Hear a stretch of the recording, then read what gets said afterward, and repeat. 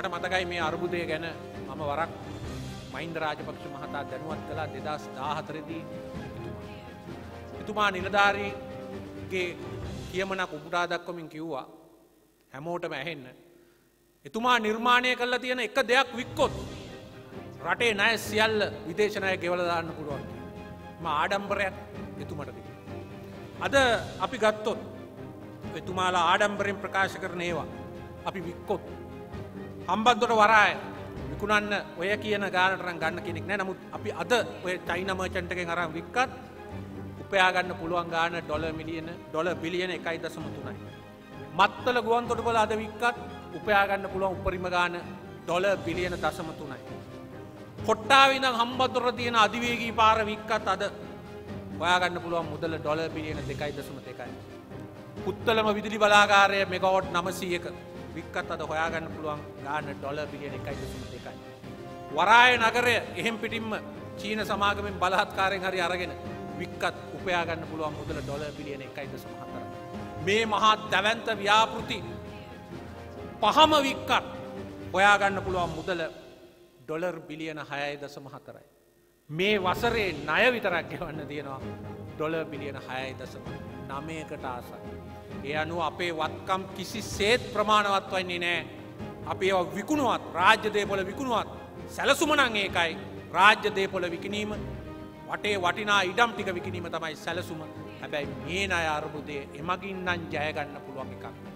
එනිසා අපි ඉතාමත්ම බරපතල විදියට ශ්‍රේණිකත සමාගන් අපි පහලට ඇද දැමීම විසින් මේ රට දරුණු විදේශ මූල්‍ය අර්බුතයකට තිබෙනවා.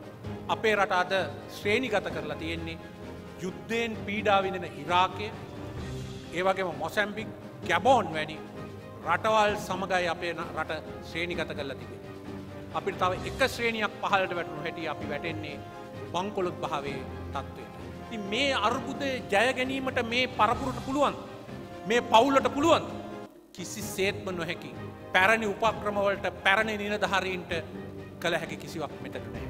එනිසා තමයි අපිට අවශ්‍ය වෙන්නේ නව පරපුරක් මේ රටේ වගකීම බාරාරගෙන මේ නය අර්බුදයෙන් මේ බංකොලොත් භාවෙන් මේ රට මුදාගෙන රට ඉදිරියට ගෙනයාමට නව පරපුරක් අවශ්‍ය වන්නේ එකයි.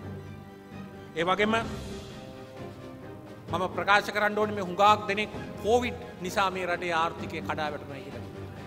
ඇතරම කෝවිඩ් නිසා කඩාවැටින් ආර්ථිකයන්ට ලෝක බැංකුවෙක් ආසියන් සංවධන බැංකුවෙන් ජාත්‍යන්ත්‍ර මුූල්ල අරමුදලින් ආධාර ලැබුණ ලංකාවට ලැබුණ දෙක ඩොලරයක් අන්න නැහැ. ලංකාවට ලෝක බැංකුවෙන් ඩොල මිලියන් පන්සීයක් ආසියන් සංවධන බැංකුවෙන් ඩොල මිලියන පන්සීයක් වගේ මන්තර්ජාතික මූලරදුලෙන් ඩොල මිලියන අටසීයක් හැටියට ඩොල මිලියන එක්දස් අටසීයක් කෝවිඩ් අර්බුදයෙන් ගැලවෙන්න ලබාගත හැකිව තිබුණ. නමුත් මොකද අන්තර්ජාතික ආයතන කිව්වේ. ලංකාවේ ප්‍රශ්නය කෝවිඩ් නෙවෙයි. ලංකාවට කෝවිඩ් හැදෙන්න්නත් කලින්ම රට ආර්ථික වශයෙන් රින වෙලා තිබුණේ පළවෙනි කාර්තුවේ. එනිසා ලංකාවේ කෝවිඩ් සුවවුනා කියලා නයාපසු ගෙවීමේ හැකියාවක් නෑ නිසා ලංකාවට මේ ජාත්‍යන්තර ආයතන කිසිවකින් ලැබෙන්න තිබිච්ච ලැබීම් ලැබුණෙ නෑ අපි ඇතුළු රටවල් එකොළහකට පමණයි ඒ ආකාරයට මේවා ලැබුන් නැත්. breaking.lk